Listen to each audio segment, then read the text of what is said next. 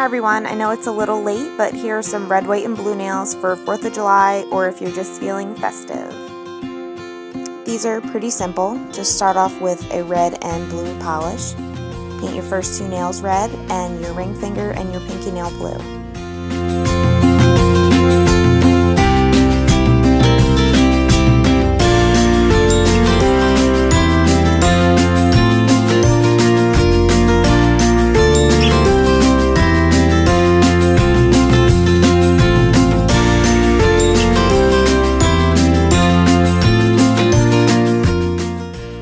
The glitter nails, I'm using Julep's America.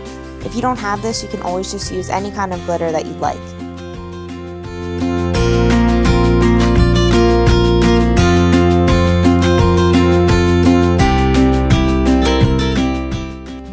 Alright, and for the blue nails, you just want to take a white striper and create three stars on each of your nails, your ring finger and your pinky.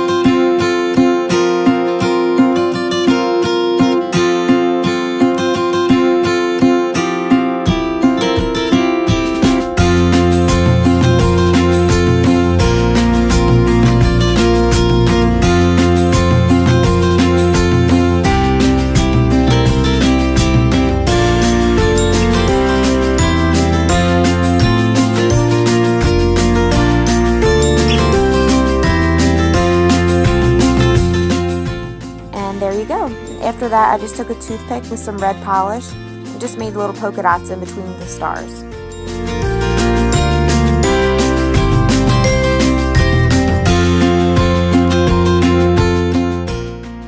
After you're finished with that, you just want to take a high quality top coat. I use Seche Vite and I put a lot on there just because the design is so thick, especially with all the glitter.